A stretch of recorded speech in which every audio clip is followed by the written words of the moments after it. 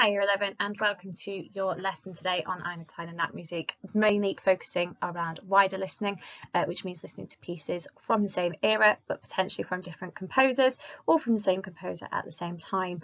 Today, you are going to need with you a piece of paper, a pen, and you are also going to have to have all those distractions out of the way. So please, can I ask, please make sure phones are away, tablets, etc. Let's really focus for this 50 minutes.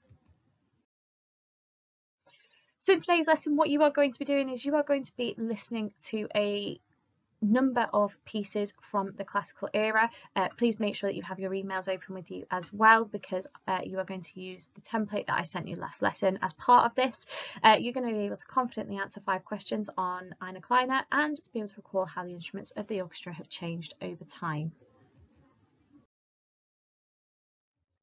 To start with our do now, just a little bit of recall today. So I'd like you to answer these following questions. So what is the structure of Eine Kleine?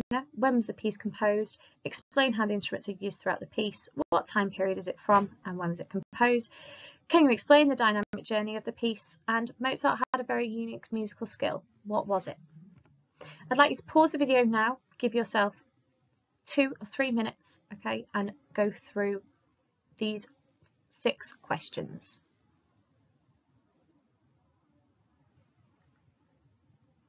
Okay, so just looking at the answers to these then. So the structure of Eine Kleine, remember it is in ternary form, so it is in A, B, A. But within that, there is also then a substructure of each section being in binary form. So remember that means that it is A, B, A overall, and within each of those, it is also A, B. Please make sure that you do understand that because that's really quite important. Remember, the second and final A section overall there are no repeats. So if we were in an exam situation, it would be very evident that it was the final minuet rather than the minuet at the beginning because there are no repeats. The piece was composed in 1787.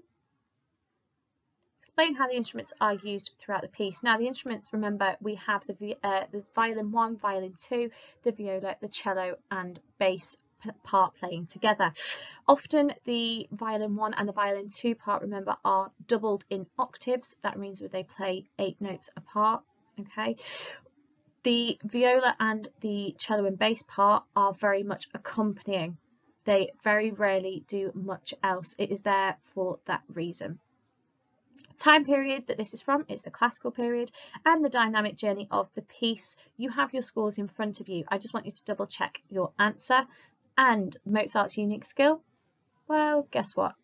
He could learn anything by ear that he wanted to. Fantastic. If you got all of those, please make sure that you just have a quick scan of your answers. Look through the score, just double check that you know exactly what you're focused on.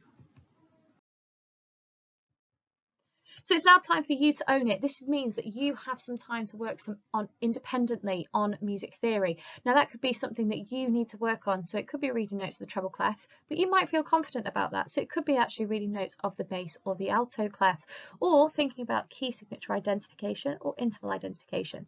I'd like to pause the video now and spend six minutes on musictheory.net. Now it's time for you to think way, way back. On that piece of paper that I asked you to bring to the lesson, just section a little bit of it off. And on that piece of paper, I'd like you to own it and retrieve as much information as you possibly can, because I want you to brain dump everything that you can remember about how the orchestra has changed over time. So within that, remember you should be discussing the Baroque period, the classical, the romantic and the 20th century. Could you add some key composers, dates, pieces you've listened to from this time period? Give yourself two minutes, pause the video now to really add to that brain dump.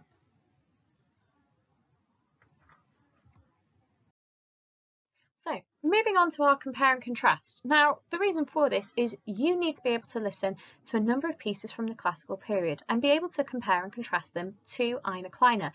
This is something that will be looked at in your exam so please make sure that you do feel confident with this.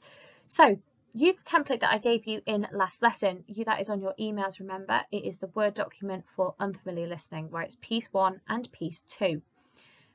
I want you to listen to another piece of music from the classical era. That could be another piece from Mozart or it could be another movement from Eine Kleiner. but you could just pick any piece of music from the classical era.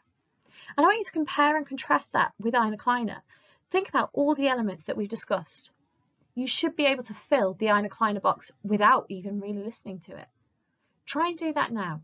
Give yourself eight minutes. Pause the video now and listen to another piece of music and compare and contrast it with Eine Kleine.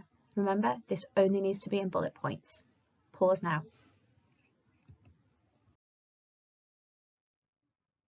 So to finish off the main part of our lesson, what I want you to do is you've got two options now. So Option one is to complete the Focus on Sound lesson that has been set for you. The website is there to support you if you need it. If you have any issues with regards to logging on, please email me, okay? But this is a by yourself activity, so try and do as much of it as you're on your own as you can. The second option is using the score that I gave you last lesson, answer the following questions. Pause the video now, give yourself probably about seven minutes to complete as much of that as you can. Now, finally, our last thing that I would like us to do today is I'd like you to write down two things that you think have gone well and one thing that you think you could improve. Could you also potentially write five questions of your own for Eine Kleine? Be really interesting to see those when we come back to school. And just a little challenge there for you. List as many composers of the classical era as you can. Can you then listen to a piece from each of them and then compare and contrast that to Eine Kleine? I know that's going to take a while, but it's a really useful thing to do. If you have still got time at the end of that, or you think that you just want to do something more musical, why don't you have a go at practicing that performance? End the video now. With any time that you have left, focus on the above tasks. Thank you for listening, Year 11, and I look forward to seeing you next week. Bye.